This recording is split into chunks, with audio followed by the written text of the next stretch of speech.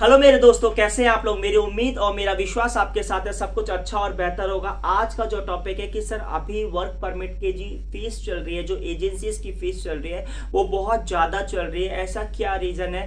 तो आज इस आपको वीडियो में बताने वाला हूँ कि जो एजेंसीज की फ़ीस सिंगापुर में क्या चल रही है, पोलैंड में क्या चल रही है, अगर आपको जॉब लेनी है एज अ फ्रेशर तो ये क्यों ज़्यादा लग रही है? एजेंसीज की डिटेल अगर आप मेरी पहली चैनल पर पहली बार देख रहे हैं, या यूट्यूब की रिकमेंडेशन से आपने ये चैनल है please like share subscribe the channel और हाँ भाई, मैंने एक नया चैनल बनाया है। आपकी लाइफ को एक पचास हज़ार रुपए मंथली इनकम आपको देने के लिए उस उस चैनल का नाम है आर आर इन्वेस्टिंग अकेडमी तो मेरे जो चैनल का, जो दूसरे चैनल का लिंक है डिस्क्रिप्शन में दे रखा है, उसको ज़रूर सपोर्ट करें। और अगर आपने शेयर करा है सब्सक्राइब करा है तो मुझे कमेंट ज़रूर बताना। लेकिन इस वीडियो में आपको बताने वाला हूँ, सिंगापुर का जो वर्क परमिट है, उसकी एजेंसीज की फ़ीस कितनी है? पोलैंड का जो वर्क परमिट है, उसकी एजेंसीज की फ़ीस क्यों चल रही है ऐसी?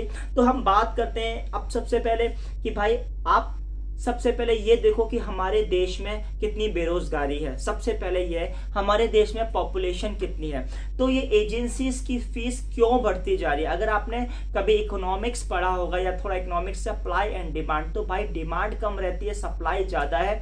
तो डिमांड जो है, अगर विदेश में नौकरियों की बात करें, हमारे देश की पॉपुलेशन आप जान सकते हो। अगर हमारे पास पाँच वैकेंसीज निकलती है तो एप्लीकेंट्स कितने निकलते हैं? ये आप गवर्नमेंट सेक्टर्स में भी जानते हैं और आप प्राइवेट सेक्टर्स में एज वेल एज होने लगा है। अब बात करते हैं कि भाई देखो, सिंगापुर का जो वर्क परमिट है, कितना पैसा लग सकता है? तो पहले आपको स्किल लेने के लिए मेरे हिसाब से एक लाख के आसपास और जॉब लेने के लिए डेढ़ लाख। तो करीब ढाई लाख रुपए की एजेंसी फ़ीस लगती है सिंगापुर का वर्क परमिट लेने के लिए, जिसमें आपको चालीस पचास हज़ार रुपए, यानी कहने का मतलब आपकी सैलरी चालीस से पचास हज़ार के आसपास होगी।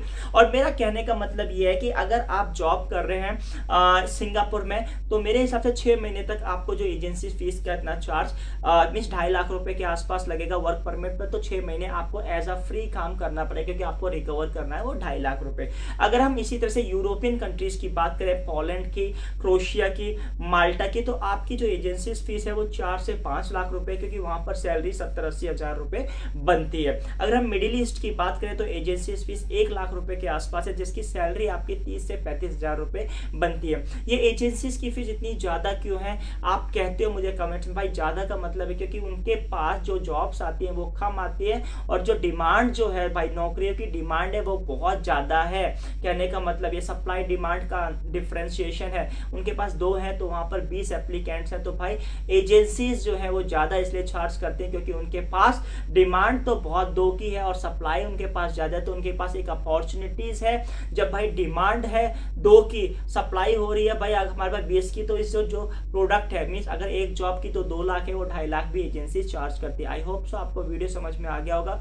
और अगर आपको आना है तो देखो ऐसा है, अगर हम विदेश में जाना ही है, जब हमने अपने मन में ठान ही लिया कि विदेश जाने का तो दस, बीस, पचास हज़ार का मेरे हिसाब से देखना नहीं है। क्योंकि हम जब विदेश जाते हैं तो भाई हमें एक लंबा प्रोस्पेक्टिव के हिसाब से जाना है कि हमें दस साल, पाँच साल काम करना है। अगर दो, तीन लाख रुपया पहली बार लग भी जाता है तो हम अपनी मेहनत से भी रिकवर कर सकते हैं। और हाँ भाई, विदेश उसी को आना है जो अपने कंफर्ट जोन से बाहर हो सकता है, या अपनी होम कंट्रीज़ में उसको अच्छी नौकरी नहीं मिल रही है अच्छा काम नहीं मिल रहा है। अगर वो अपनी होम कंट्री में वेल सेटल्ड है, विदेश जाने की कोई ज़रूरत नहीं है, लेकिन अपनी होम कंट्रीज़ में अगर बंदा सेटल नहीं है या उसको इतना इनकम नहीं हो पा रहा है, पंद्रह बीस हज़ार रुपए मिल रहे हैं तो मैं प्रेफर करूँगा, मैं रेफर करूँगा कि भाई विदेश जाया जाए, क्योंकि पचास साठ हज़ार रुपए विदेश में कमाना बहुत ही नॉमिनल है, बहुत अगर हम अच्छे से बसा भी सकते हैं, चालीस पचास हज़ार रुपए, अगर एक्सपीरियंस के साथ हमारी सैलरी डेढ़ से दो लाख रुपए भी हो सकती है। तो आई होप सो आपको वीडियो अच्छी लगी होगी। वीडियो अच्छी लगी लाइक एंड सब्सक्राइब और अभी तक नए चैनल को आपने सब्सक्राइब नहीं कराए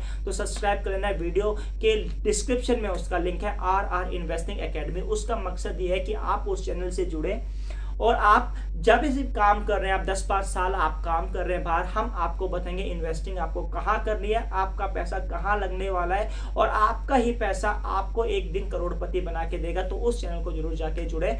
Thank you for watching this video